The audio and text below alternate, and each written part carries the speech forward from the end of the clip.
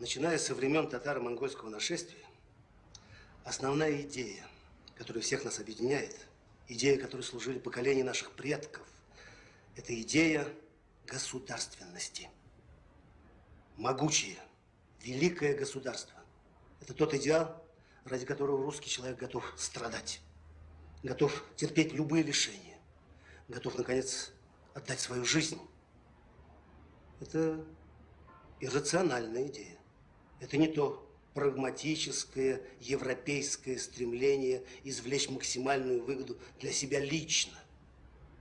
Это идея российского духа, который подчиняет и растворяет в себе вашу, мою индивидуальность. Но взамен и вам, и мне дает во сто крат больше.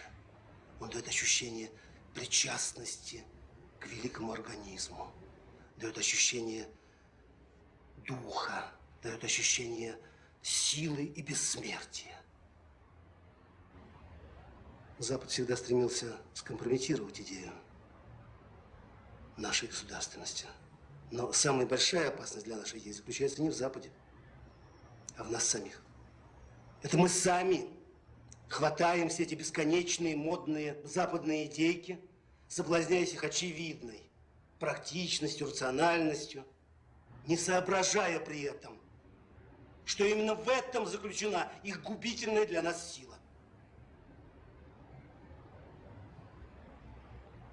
Но ничего, наша собственная идея в конечном счете всегда берет верх.